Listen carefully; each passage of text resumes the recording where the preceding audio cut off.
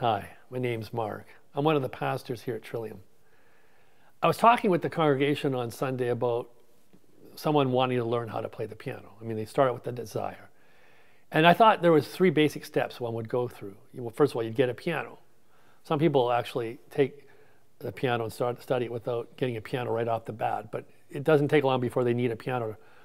And, and step two is get a piano teacher. Seems pretty obvious. You need someone to coach or guide you on how to learn how to play the piano. And then step three is practice.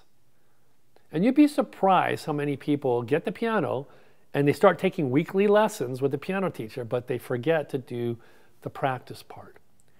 I'm here to mention to you that it's the practice part that's most important of all. Unless you practice at something, you're not going to get uh, any kind of proficiency in it. And I was using that as an analogy for, for the church too. If you want to follow Jesus, and we articulate that here at Trillium as being God's hands in the world. Do you want to join with Jesus in being God's hands in the world? Then it seems to me the first thing you do is you pick a church. And step two, you go to church on a fairly consistent basis to get instruction and direction how to be God's hands.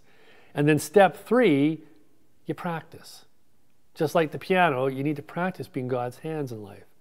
And it's in the practice that one begins to develop the facility, the capacity to do that uh, hard task of offering friendship and fellowship to all. That's what we understand. The purpose of being God's hands is to offer friendship and fellowship to all, to all, not just a few or some, but to all.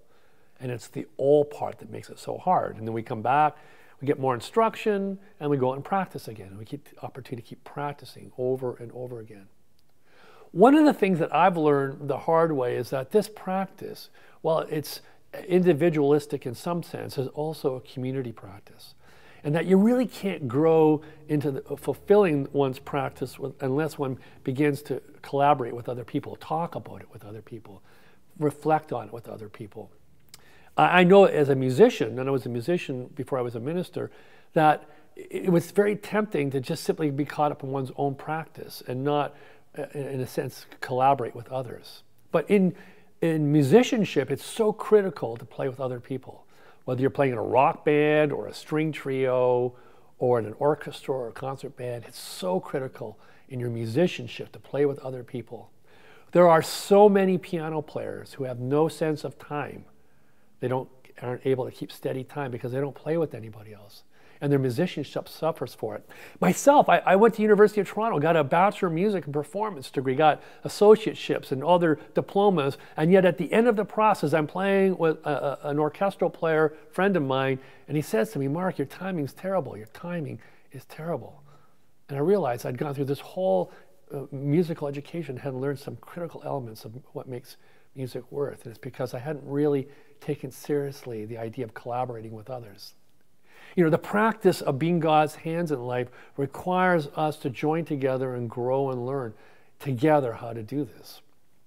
I uh, was reflecting with a friend of mine about a situation I'd found myself in in a parking lot at a pita restaurant. I talked about that a couple weeks ago. About how this guy had come up to me out of the side while I was just about to chunk down into a shawarma pita. And all of a sudden, I saw him waving at me. He wanted something from me, and I, I missed the moment of it. I simply waved him off and drove away without ever engaging him. And I missed the opportunity to be God's hands in life and to offer friendship and fellowship to all. And my friend and I were sitting there reflecting on what I might have done. I, I might have bought him a pita. I might have given him some money. I, I might have even just rolled down the window and talked to find out what he needed. And I'm thinking to myself, and my friend says to me, You had one thing. You could have just given him your pita sandwich if he was hungry. I'm saying to myself, yeah, yeah, I'll go up and I'll buy myself another one. He says to me, no, you just give him your pita and drive away. And in that moment, a light bulb went on. The opportunity for substitution revealed itself to me. In a sense, there was a trade going on there, a transaction of love.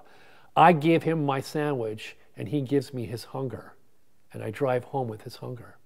That's the core of the gospel moment, too. Jesus comes to us, offers us his connection with God and with neighbor in, in place of our alienation from God and from neighbor. In a sense, he gives us his shawarma sandwich and takes upon us our hunger. We see that in, in parents who will push children out of their way and take upon their child's danger and put their child in their relative safety and security. I've heard so many parents say to me how they would wish to be able to substitute themselves for their child's pain in life, too, and are not able to do that. That's the gospel. That's the goodness of life. And it's something that we only grow in as we practice it together.